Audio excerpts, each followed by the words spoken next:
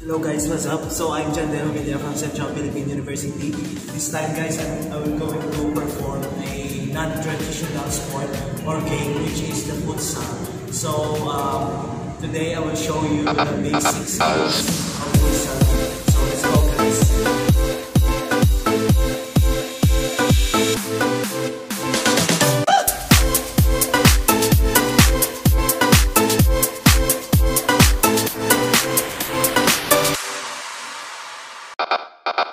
House.